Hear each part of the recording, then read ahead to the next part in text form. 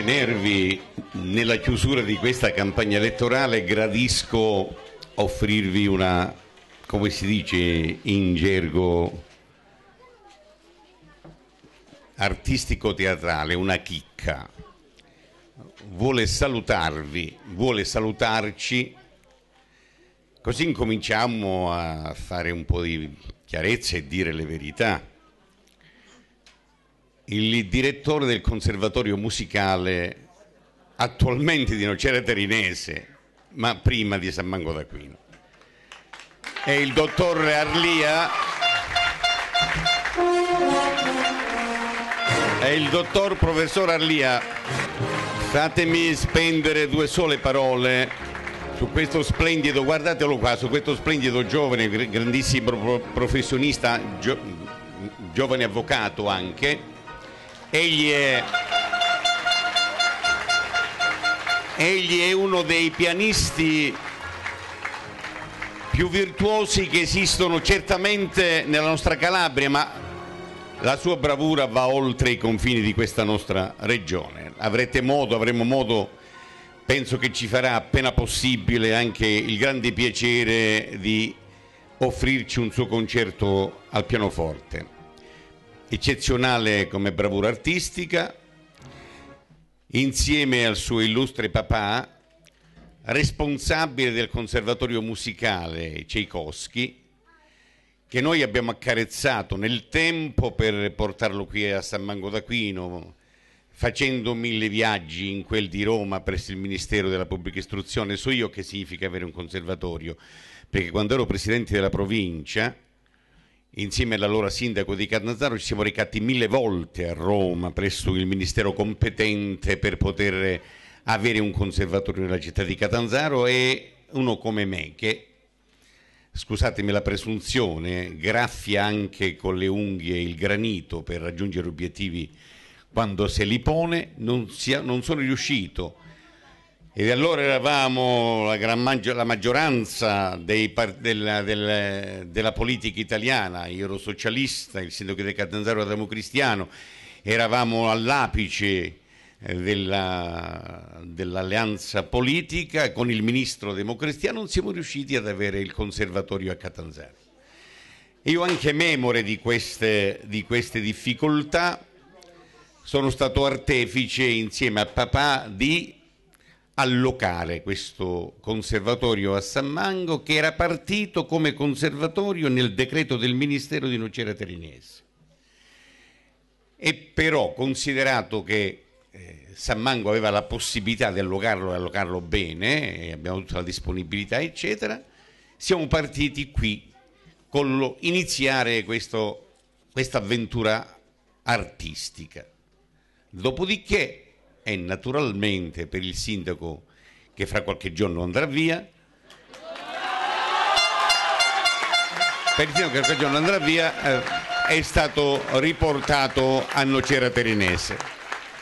Adesso sicuramente non vorremmo fare nessun torto a Nocera, ma dato che il conservatorio è cresciuto a dismisura, a circa 650-700, sarà potrà dirlo il dottor Alia con maggiore precisione iscritti che vengono da tutte le parti, non soltanto dalla Calabria, ma da fuori Calabria, certamente avremo noi qui, lo dirà lui e lo ringrazio, una parte importante di questi studi universitari musicali che daranno quel giusto prestigio che avevamo riconquistato in passato e che per il sindaco attuale abbiamo perso.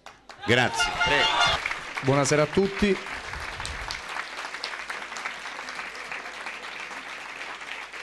Stasera sono qua come rappresentante del conservatorio Piotrili Tchaikovsky di Nocera Terinese, come diceva giustamente zio Leopoldo. E, e, i motivi per i quali sono qua sono eh, anzitutto che questa splendida amministrazione con il suo sindaco mi hanno invitato a presenziare. Il secondo è che il maestro Mario Fiorillo, che è mio collega di tromba e vostro concittadino, ci teneva che io fossi qua a rappresentare il Conservatorio Tchaikovsky di Nocera Terinese. E il terzo motivo è che io dal punto di vista eh, psicologico e nostalgico sono molto legato, caro sindaco, eh, alla cittadina di San Mango d'Aquino perché la mia carriera didattica e musicale è iniziata proprio qua perché il conservatorio si trovava qua. Diceva giusto eh, zio Leopoldo dicendo che oggi il conservatorio annovera quasi 700 iscritti provenienti da Campania, Puglia, Calabria, Basilicata, Sicilia e qualcuno persino dal nord Italia. E il conservatorio nel momento in cui è passato a Nocera Terinese aveva grandi progetti per San Mango perché voleva tenere a San Mango d'Aquino tantissimi corsi, tra cui corsi anche prestigiosi, il corso di Riccardo Tesi che è un noto studioso di musica popolare e di fisarmonica diatonica, il corso di canto leggero, forse voi sapete che oggi il conservatorio ha un corso di canto leggero con la nota cantautrice italiana Grazia Di Michele che insegna al programma Amici di Maria De Filippi su Canale 5 voleva mantenere attività dell'Orchestra Filarmonica della Calabria, grandi cose per due motivi. Anzitutto perché San Mango, che il vostro paese ha delle bellissime infrastrutture che possono ospitare queste cose, e la seconda che dal punto di vista eh, prettamente logistico lo può fare perché ha una cosa importantissima che è lo svincolo autostradale. Grazie. E proprio nel momento in cui tutte queste cose erano addirittura d'arrivo e si stavano per realizzare, io non sto parlando eh, per fantasia o per immaginazione, perché ognuno di voi, cittadino di San Mango d'Aquino, può benissimo recarsi a Nocera Terinese, io vi apro i, i cassetti in cui teniamo le delibere, in cui sia il consiglio accademico che il consiglio di amministrazione voleva realizzare queste cose nella bellissima cittadina di San Mango. Proprio nel momento in cui stavano per insediarsi queste cose, il sindaco e la sua amministrazione ci hanno mandato una bella letterina in cui ci dicevano che, in maniera molto elegante chiaramente, che non eravamo più graditi a San Mango d'Aquino. E quindi queste cose non si sono potute realizzare.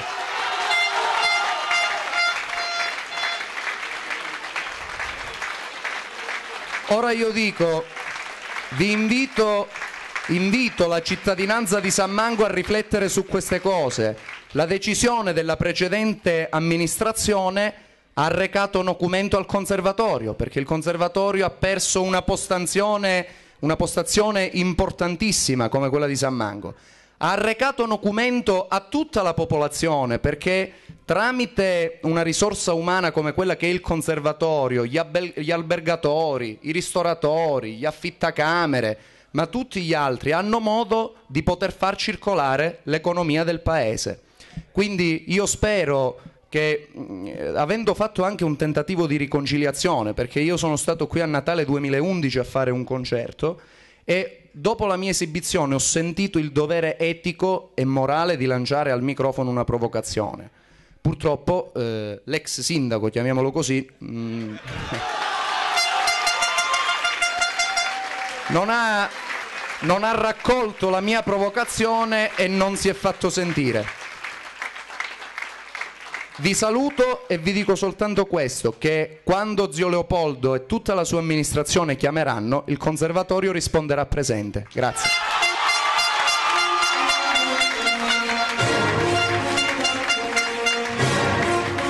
Grazie, grazie, grazie perché io stasera eh, in questo tripudio di folla non vi annoierò più parlando di programmi, delle cose sappiamo molto bene, siamo in grado di scalare la luna, quindi non, non, voglio, non voglio annoiarvi su questo, voglio soltanto tratteggiare alcuni aspetti di questa campagna elettorale e poi soffermarmi sulla splendida realtà che io ho trovato e che sono questi giovani che mi hanno indotto a riprendere in mano il filo della politica che io non ho mai interrotto per la verità, ma che comunque con San Mango per un periodo avevo mollato o avevo allentato. È stata una campagna meravigliosa questa condotta, hanno avuto ragione i carissimi che mi hanno preceduto, una campagna elettorale ineccepibile sul piano culturale, nella quale sono posti accenti in termini intelligenti su quello che può essere il disegno di un paese moderno, di un paesino moderno, di un paesino avanzato, di un paesino civile, di un paesino colto, un paesino che riesce a guardare con lo sguardo al di là dell'orizzonte. Una campagna elettorale che è stata tratteggiata da eleganza di comportamenti da parte nostra e non poteva essere diversamente, perché io mi sono rimesso in gioco, caro Bonocore, alla mia giovine età, mi sono rimesso in gioco perché ambisco a fare un po' di pedagogia politica. Ce n'è bisogno, non soltanto a San Mango, in generale, direi in Italia. L'abbiamo detto più volte e in un momento come questo va ribadito un momento come questo in cui la crisi della politica tocca la vetta più alta. Ma sapete molto bene, lo sappiamo, visceralmente lo avvertiamo che c'è un distacco enorme tra il cittadino e la politica. Avvertiamo in termini epidermici che dove c'è politica c'è sporco, almeno così si dice, così si pensa. E per la verità la politica italiana ci ha dato esempi assolutamente negativi da quella italiana a quella regionale. Tutti coloro i quali vertici, partiti, sono stati toccati dalla malapianta del malaffare, dell'interesse privato, sono stati toccati dalla immoralità, quando invece la politica deve essere la palestra nella quale con gli occhi alti e con l'animo sulle mani discute dei problemi della collettività, dell'evoluzione del popolo, della certificazione più alta dell'affermazione della, dignità dell'uomo come centro motore della società e dell'universo. È un periodo in cui la politica è sporca, tra virgolette così, la si definisce. E quindi ambisco, dopo un grandissimo vissuto nella politica di cui sono onorato e di cui sono soddisfatto ritenendo aver fatto sempre il mio dovere, forse un pochino di più, ma non si fa mai più del proprio dovere, fa, il proprio dovere non, mai, non c'è mai un più, perché si fa il proprio dovere e basta. E il dovere di chi fa politica è quello di interessarsi totalmente del bene della collettività, amando il prossimo e cercando quindi di risolvere i problemi che assillano specialmente le classi meno fortunate della società. Ecco quindi pedagogia politica. Tutti i giovani, invece che spingersi qui, magnifico, meraviglioso questo afflato, verso solo ed esclusivamente il ribellismo, la protesta, dimenticando che ci può essere una proposta.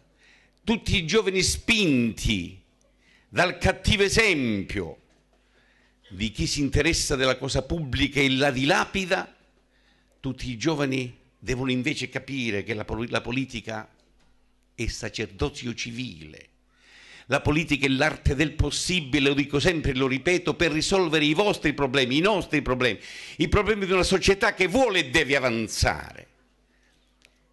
La politica è una delle cose più difficili verso la quale si deve guardare con coraggio e con fiducia e anche con amore, perché senza amore nella vita e nella società non si va da nessuna parte.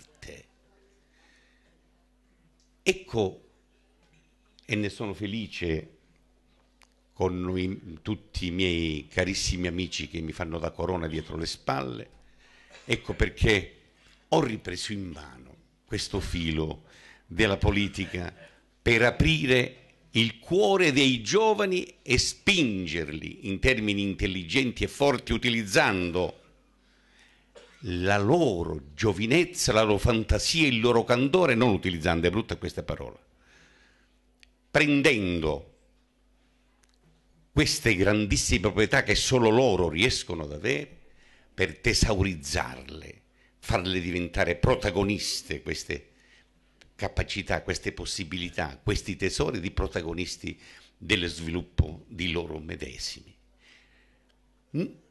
Non è più tempo di pensare che si possano fare clientele, non è più tempo di pensare che si possono dare e regalare posti, non è più tempo di pensare che vado dal compare Leopoldo, da zio Leopoldo per raggiungere un obiettivo personale per cercare anche di mortificare l'altro. No, adesso è il tempo, ve lo dico, è duro, della meritocrazia, dell'impegno personale, costante, continuo, appassionato. L'uomo deve essere promotore dei propri destini, deve diventare protagonista di se stesso e sapere che nulla è nulla è proibito se non soltanto l'illegale per raggiungere obiettivi di civiltà. E allora ecco, cultura politica che cultura del bene, cultura politica che cultura de- della verità, cultura del bene che cultura di servizio. Chi non sa servire gli altri non serve a se stesso. Questo è il problema. E allora, e allora riportiamo, riportiamo, e qui, e qui, e qui in questo stato di certezza rispetto ai postulati appunto della politica, io non voglio certamente indossare la tunica del filosofo per eh, impartire sermoni. No, no, no, dobbiamo discutere insieme, hanno ragione i ragazzi, convincerci della bontà che la politica deve avere nell'ambito della soluzione dei problemi della collettività. Io non voglio nemmeno indossare, ma scherzano ogni tanto i miei, i miei amici, il saio del prete o del, o del, o del, del frate, eh, padre Pasquale il, per eh, impartire benedizioni o comunque, o comunque per imporre una volontà. Anche se i filosofi aiutano a migliorare le condizioni oltre che culturali, socio-economiche di una collettività, perché ti fanno saper leggere bene la realtà nella quale operi, e se tu non sai leggere in realtà non puoi operare per il bene della stessa. E anche se il prete oppure il padre aiutano a leggere meglio lo spirito dell'uomo perché la loro azione è tesa a penetrare nell'animo delle persone per rendere quell'animo migliore e certamente con una filosofia diversa loro tendono a farti raggiungere il cielo, gli altri o il filosofo, il filosofo tende a farti vivere meglio in questa terra. Noi vogliamo abbinare le due cose e perché no? Ricchi di umanesimo socialista, cercare di prendere insieme quello che di spirituale l'uomo può avere al massimo e quello di cultura che l'uomo può avere sempre di più per migliorare se stesso. Pedagogia, pedagogia politica, pedagogia umana, stare insieme, migliorare noi stessi per migliorare noi stessi ci deve essere il trionfo della verità. E adesso, ecco, consentitemi che io presenti questo monumento di bugie che il sindaco sta per andare via. monumento di bugie.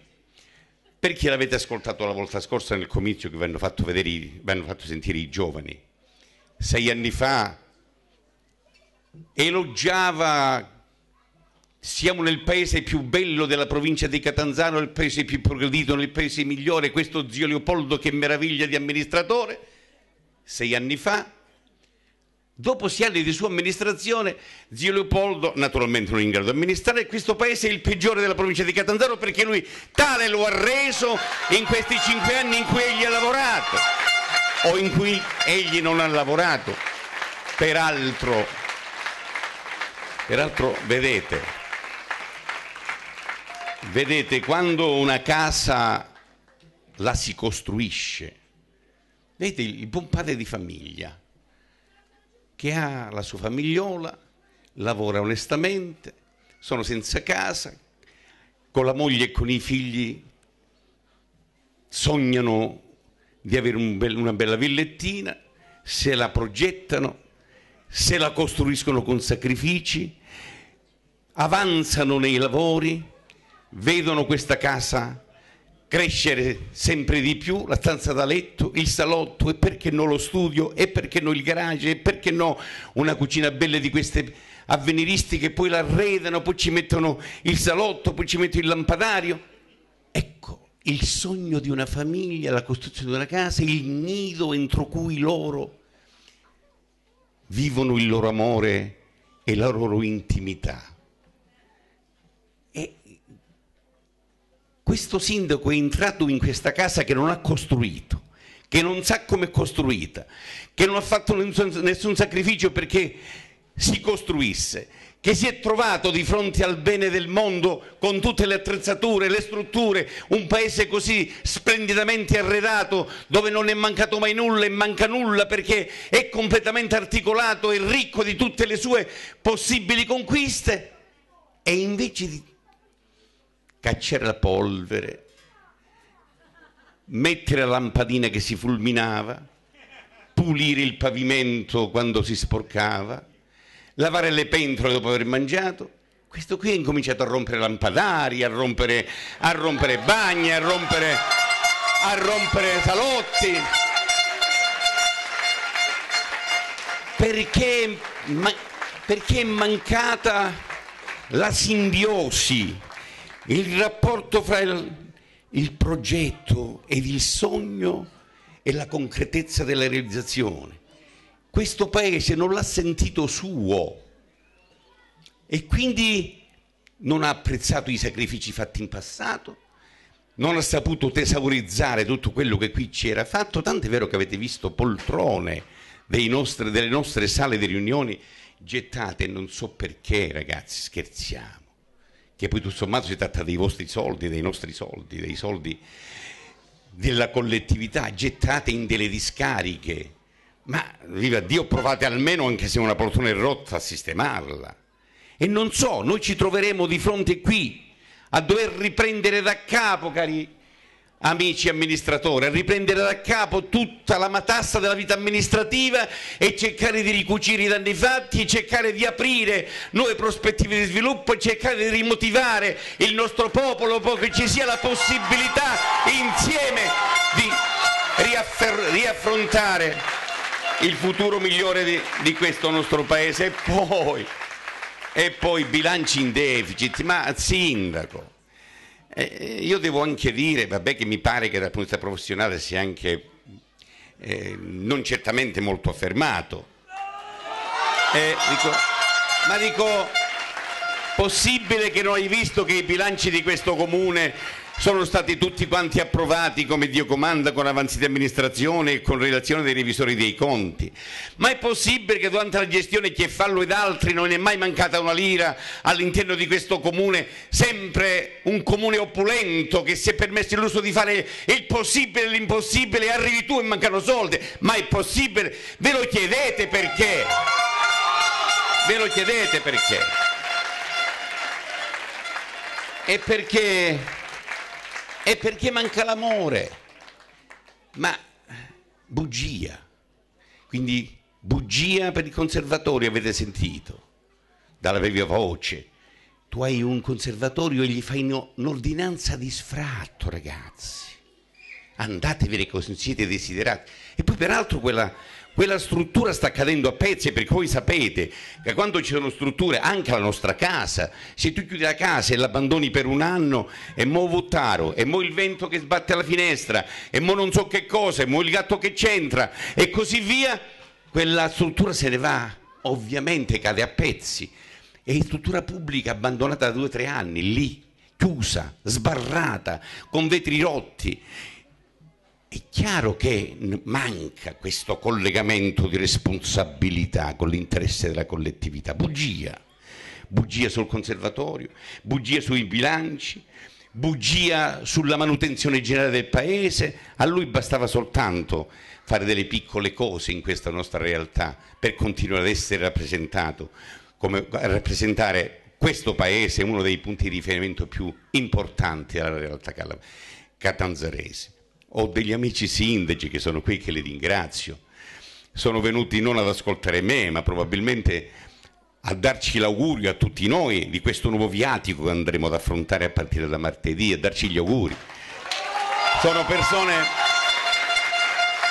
persone alle, alle quali certo sono legato da vincoli di grande simpatia personale, di grande affetto e anche probabilmente di, di trascorsi politici comuni, ma sono sindaci con i quali il Paese deve, può, anche se vicini o lontani, trovare un raccordo di vita comune, di vita amministrativa, incominciare a ricucire un discorso collaborativo con la vita amministrativa regionale al fine di poter essere protagonisti insieme, noi da qui, da una piccola realtà, essere protagonisti dello sviluppo stesso della nostra regione.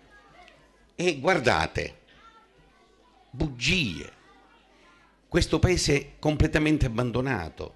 Avevano ragione, ha ragione Luca quando dice che per esempio non facciamo parte di, nessun, di nessuna organizzazione comunale o intercomunale anche per la raccolta differenziata dei rifiuti noi ambiamo invece ad elevare il tono del collegamento con i paesi del circondario. Da soli non si va da nessuna parte. E questo sindaco non conosce nessuno, non è riuscito nemmeno ad allacciare un rapporto benché minimo umano con le realtà sovracomunali, sia con i comuni del circondario, a meno che non si sia trattato di avere rapporti per motivi di affari. Ma queste sono un'altra cosa. sono un'altra cosa. E sono un'altra cosa e queste cose a noi non ci riguardano. Gli affari non, ci, gli affari non vanno d'accordo con la politica. È vero, Avvocato Angotti? Gli affari non vanno d'accordo con la politica. Chi vuole fare affari si astenga dalla politica, perché prima o poi mette le mani nella marmellata. E noi non ci possiamo, voi giovani, non ci possiamo permettere il lusso di infangare né l'immagine di un comune né l'immagine della vita amministrativa, perché rincorreremo malamente tutte le cattive abitudini che purtroppo hanno ucciso la politica in quest'ultimo ventennio in Italia, tal che la nostra realtà italiana è così in crisi. E speriamo che se ne esca per il bene comune e per il futuro delle nuove generazioni. Ha lasciato scempi da tutte le parti, bugie. Ma è chiamato Don Ignazio, lo conoscete Don Ignazio? Dite, dici dal palco testualmente che, che, che, mi mandasse 2500 euro che mi deve perché io devo mandarli alla missione in Tunisia. Boncore ascolta, almeno paga i debiti che ti sei fatto niente di meno con le istituzioni religiose. Don Ignazio non vuole questi soldi per metterseli in tasca, ma vuole questi soldi perché lui è un prete missionario che con i soldi fa vivere, fa mangiare, educa ragazzi in difficoltà delle realtà più povere del paese. Tutto quello bugie, bugie che avrebbero fatto financo arrossire i neri dell'Uganda questo amico sindaco. E poi, e poi, e poi, e poi e poi la prepotenza. Poi capite perfettamente che l'ignoranza cammina parallelamente con la prepotenza e la prepotenza cammina parimenti con l'incultura. Ha messo, guardate, qua ci sono, ci sono, ci sono una serie di impiegati comunali, eh, insomma, aveva Dio. Questo comune l'abbiamo formato tanti anni fa. Sono tutti figli di questo papà, figli parlo politici di questo papà. Ma non perché io abbia favorito loro, no, no, no, sono figli di questa Sammango, di questa Sammango operosa, operativa, che nel tempo si è data fare per cercare di migliorare le condizioni di vita delle proprie famiglie. Io l'ho sempre detto e lo ripeto, Sammango è un paese missionario.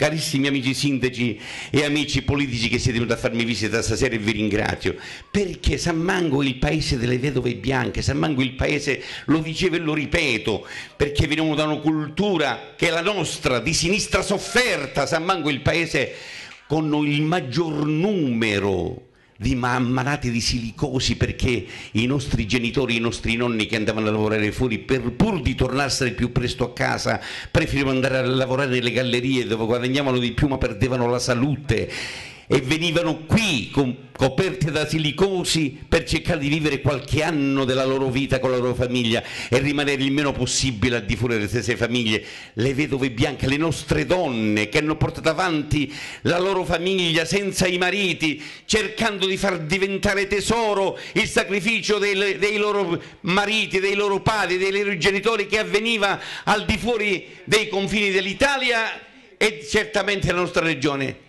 San Mango è un paese che ha sofferto. Ecco perché è un paese che ha bisogno di maggiore considerazione. E caro sindaco, che cosa hai preso anche tu, figlio di emigrati? Ma evidentemente ti hanno così tenuto bene nel crogiolo della tua famiglia perché eri quello che studiavi in famiglia che hai smarrito completamente il senso della realtà ed io, carissimi sammanghesi, sono caduto nella trappola e vi chiedo scusa un'altra volta stasera.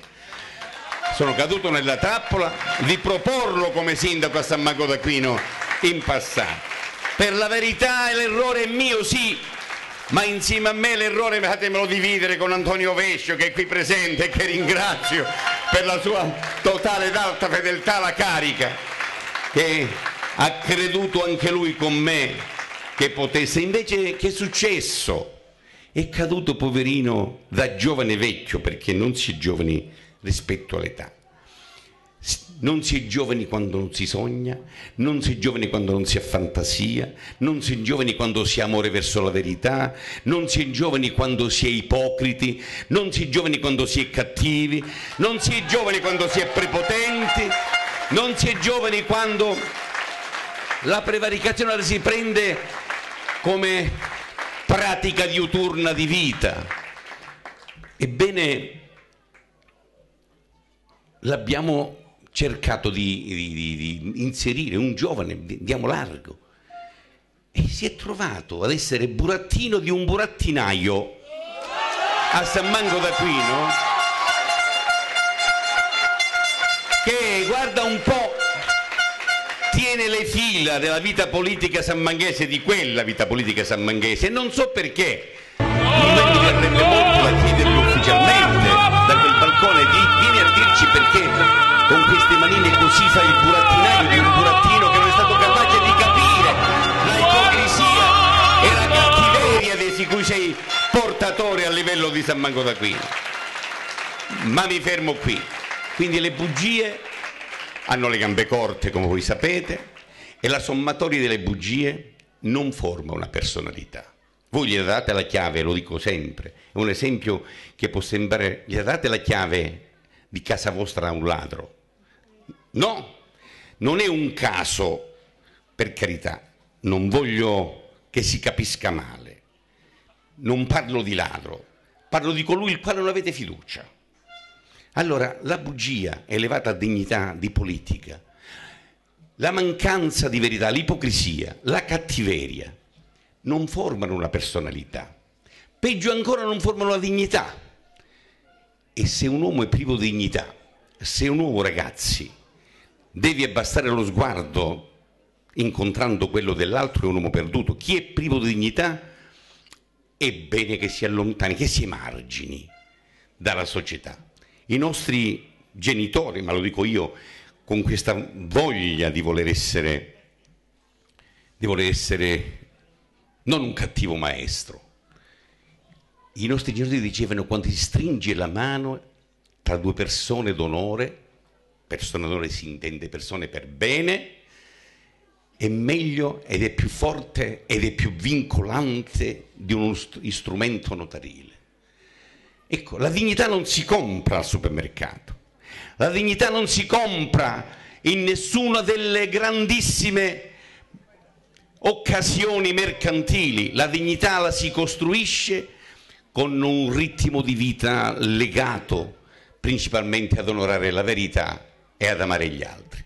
E allora ecco, chi è privo di dignità e che il monumento della bugia come fa dire voglio amministrare un comune? Dio ce ne guardi.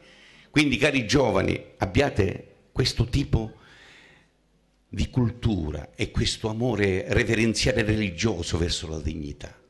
Guai a colui il quale non sa essere dignitoso prima con se stesso. E quando a sera ognuno di voi torna a casa chiude gli occhi ed interroga la propria coscienza, non voglio mettermi il saio né la tunica, sappiate che per saper rispondere a se stesso sono contento di quello che ho fatto.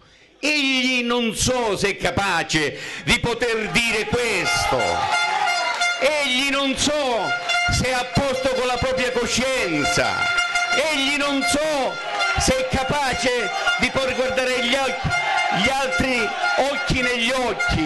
Egli non so se può guardare al futuro speranzoso, egli non so se può essere guida dei giovani di un comune, ma quale giovinezza o gioventù? E la vecchiaia più,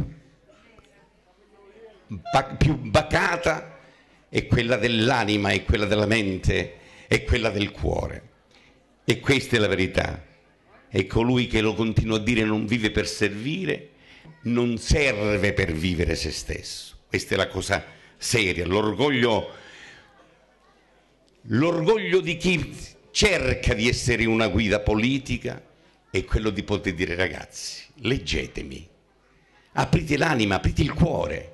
Aprite la mente, io sono questo, non ho riserve, leggetemi, cercate di essere voi stessi e penetrare nell'anima e nella mente di chi vi deve amministrare, cercate di essere voi stessi protagonisti insieme a colui il quale si pone a volervi guidare, leggete e se nel cuore e nell'anima di chi avete di fronte a voi sapete leggere e potete leggere che persona per bene, che è con voi, che con lui vi riconoscete, che insieme si può fare un grande passo in avanti, un grande viaggio. E allora sì, allora eccoci la simbiosi, scatta la molla tra le persone ed insieme si può fare, si può fare parecchio. Dieci minuti. Sì, non, no, non, mi, non vi tratterrò molto. Però lasciatemi stasera un'altra puntualizzazione. Vedete chi non sa suggere al latte della propria storia non può saper leggere il presente e quindi non si può proiettare nel futuro. Sono stato criticato la volta scorsa di aver ricordato dei carissimi amministratori di questo paese che non ci sono più. E perché non ricordarlo, ragazzi? È la nostra storia. Perché non ricordare zio Baffo, zio Guido Mastroianni, un sindaco, un sindaco meraviglioso che mandando a quel paese tutti, ma tu che vuoi, ma va, ma tu che vuoi, ma va, ma sotto di questo ma va c'era quel cuore grande di uomo, capace di saper assorbire tutti i mali e le inquietudini del momento. E poi Antonio Manfredi, un uomo di qualità, di spessore, di parola, un uomo che è stato strappato alla nostra società ancora giovane, è stato strappato alla sua famiglia nel mentre era tutto proteso a migliorare le condizioni di questo comune da sindaco. Perché non ricordarlo? Ma perché? Mi, mi, avete fatto questa critica, è come non ricordare Pietro Moraca, un altro uomo di grandissima qualità per bene, ma si possono ricordare coloro i quali sono stati artefici in diverse fasi storiche di questo paese, della costruzione della nostra società. E perché voi giovani non vi dovete stringere con affetto, con passione politica, con grandissimo dolore a Michela Vescio che era con voi, sarebbe stata con voi stasera a fare queste grandi battaglie. Perché non ricordarlo? Ma questo significa chiedere un voto in più? No! Significa leggere la storia che ci appartiene di questo paese, significa cercare di capire che strada abbiamo fatto fino adesso, significa cercare di essere noi stessi e saper leggere nel nostro passato, non già per compiacerci o guardare all'indietro, ma significa così potersi e saperci proiettare nel futuro. E perché stasera non ricordare dei grandi sammanghesi che non ci sono più? Perché non ricordare? Abbiamo iniziato un progetto Concordia e poi parlerò un minuto soltanto di questo. Non ricordare un medico come Angelo Monaco, che è stato con noi una vita a curare i vostri figli, i nostri figli, i miei figli. Perché non ricordare uno come Guido Ferrari, uomo eletto di questo paese, anch'egli morto da poco? Perché non ricordare l'avvocato Felice Manfredi, principe del foro, che è stato anche l'orgoglio nostro di questo paese, nelle realtà vicine e lontane? Perché? Scusate, ma questo è, è, è, è lesa maestà. No, no, no, no. Voi siete, sono l'orgoglio della nostra, della nostra società l'orgoglio, sono quelle fiammelle che brillano nel buio sempre e che possono rappresentare un momento importante di vita e di viatico e di segnale che illumina, può illuminare noi stessi, la nostra mente, la nostra anima ogni qualvolta ne abbiamo bisogno. Perché? Non si rendono conto questi che chi disconosce la propria storia non è degno di saper leggere il presente e di affrontare il futuro, non si rendono conto. E la vera e la vera conoscenza, e la vera conoscenza dovrebbero sapere che riconoscere i limiti della propria ignoranza e se uno riuscisse a riconoscere i limiti della propria ignoranza sarebbe veramente nelle condizioni, nelle condizioni di poter far meglio il proprio dovere. In ultimo, ma non per ultimo, consentitemi, ci sono molti amici di fuori pure stasera vi ringrazio per la vostra presenza ne approfitto per presentarli. Questa è una lista che è nata da un altro sogno, il sogno mio di vedere tanti giovani che non conoscevo peraltro perché mancava a me l'ultimo anello della generazione sammanghese. Sono stato felicemente impressionato, eccezionalmente grazie ragazzi, siete meravigliosi davvero, fatemelo dire e non per, e non per, e non per, per plagiarvi e nemmeno per, per sollecitarvi l'applauso. Questo applauso lo dovete dedicare a voi medesimi, che sa- tutti sapete che ve lo meritate.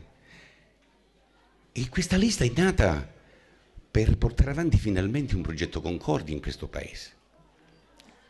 Voi sapete, lo sappiamo tutti noi che siamo vissuti nella politica, Pietro, Tonino, l'onorevole Scalzo che saluto, Petro Minniti, il, il, mio amico Sesto che viene da Chiaravalle, Tino, Tino, Gregorio, meraviglioso amministratore di Chiaravalle e quanti altri probabilmente ci sono che, non, che adesso non vedo, sapete molto bene che nell'ambito delle realtà comunali, specialmente quando vi erano i partiti, socialisti, democristiani, comunisti, beh, la lotta era sul filo del rasoio, la lotta era truculenta, la lotta era forte, c'era da far privilegiare naturalmente gli interessi di questo o di quel partito, ma si lavorava, si bat- ci si batteva per una causa, si credeva ideologicamente a determinati percorsi, a determinati postulati, perché l'uomo è fatto anche di cultura a cui si abbevera.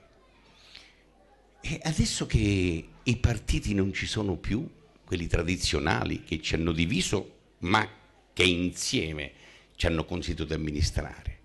Io lo dico sempre, lo ripeto stasera. San Mango d'Aquino per tanti anni ha avuto un'amministrazione socialista, ma un'opposizione democristiana di grandissimo prestigio e di grande rilievo. Insieme, maggioranza e opposizione, nel gioco democratico, insieme fanno crescere una comunità. Insieme, nella contrapposizione, anche forte, fanno crescere una comunità. Insieme, ognuno svolgendo il proprio dovere e prendendosi le proprie responsabilità, fanno crescere una comunità. Insieme si combattono battaglie di civiltà. Ebbene, sono venute meno queste occasioni. Bene o male, la realtà è questa. Perché non portare avanti un, un discorso concordia, come l'abbiamo chiamato noi, un discorso concordia, in cui pezzi, tutti quelli che ci sono stati da una parte, pezzi di quelli dall'altra parte, si uniscono in un afflato fraterno per il bene di una comunità che vogliono sempre, in momenti di difficoltà come questi, vogliono sempre di più portare avanti, che vogliono sempre di più far primeggiare, che vogliono sempre di più far progredire nel, nella civiltà e nell'amore. E questo abbiamo fatto. Abbiamo fatto questo. Francesco, il coordinatore di questa nostra lista, avete visto quanto è bravo? Bravissimo. È figlio del dottore Marzico, mio avversario atavico a San Mango da qui. Francesco, splendido ragazzo, virgulto, colto di questo nostro, di questo, di questo nostro paese, è figlio dell'avversario storico. Attenti che per quanto a Dario è stato un mio grande amico al che io ho stimato profondamente perché è uno dei medici più preparati e non vedonda che esistono all'interno delle realtà calabresi. E perché? E perché? Ma sapete quanti messaggi sono stati mandati per intimidirli, per evitare che potessero essere inseriti in un contesto di amore nuovo di questo paese e per cercare di elevare insieme gli animi alla collettiva, gli animi verso una prospettiva di futuro migliore. Ma come mai? Ma è possibile che ai tempi di oggi noi dobbiamo essere nelle condizioni ancora di dir l'un mal dell'altro e compagnia bella? E allora questo Progetto Concordia ha portato, ha portato un imprenditore, lo dico a voi che siete qui per la prima volta, amici, lo conoscerete sicuramente, quale Antonio Ungaro, che è una delle perle dell'imprenditoria regionale mi dovete dire voi, cari amici avversari, cosa Antonio Ungaro da venire a prendere al comune di San Mango d'Aquino se non mettere a disposizione del comune la sua personalità, la sua preparazione, la sua saggezza, il suo modo di intendere la vita amministrativa alta ed elevata e la sua esperienza di imprenditore che ha portato il nome di questo paese al di fuori dei confini della Calabria e dell'Italia. E che cosa ha Pasquale Torquato? Se non che io oso definire, altro mio avversario storico, che io oso definire padre Pasquale per una bontà innata che ho riscoperto e che per la verità era sfuggita alla mia attenzione. Un amore grande per il prossimo ogni volta lo senti, si preoccupa che quello ha bisogno, chissà che si può fare questo per, per questo e per quell'altro. Grazie Pasquale per questa esperienza di vita che mi hai dato con questa lista che ci siamo presentati e grazie ancora di più per quello che potrei fare per il prossimo futuro. E Roberto, e Luca, Roberto Costanzo un, un, professionista di qualità che entra ed esce dalle case di San Manghesi con il sorriso più alto a portare avanti un momento di sollievo a chi ha bisogno. E Luca, giovane, splendido avvocato, preparato. E poi infine, facciatemelo dire, avete sentito che splendidi ragazzi, Anna Rita e Mario, ma stiamo scherzando, e questo l'insieme, e questo l'insieme di esperienze ed io sono felice di mettere a loro disposizione la mia esperienza, la mia storia, la mia capacità di amalgamare, mia, il mio amore verso la collettività, verso voi, verso la Calabria intera, verso le politiche di progresso del Mezzogiorno. Io sono felicissimo di poter essere al servizio di questi giovani e felicissimo di poterli guidare per mano verso un futuro migliore, di guidarli per mano verso un'Italia migliore, di guidarli per mano verso un paese migliore, di guidarli per mano verso prospettive di sviluppo. Grazie per quello che farete domani e dopodomani e ci vedremo per festeggiare nei prossimi giorni una vittoria che certamente ci sarà una vittoria che ci sarà perché la vittoria è certa, non si può fermare il sole la mattina quando deve nascere, non si può fermare il vento quando spira, non si può fermare la pioggia quando cade, non si può fermare un movimento giovanile come questo che vuole riappropriarsi della dignità di questo paese per lanciare anche un messaggio di pace e di amore a tutti i paesi del comprensorio e pilotare ed andare avanti insieme nell'unità in questa regione che ha tanto bisogno di sollevarsi.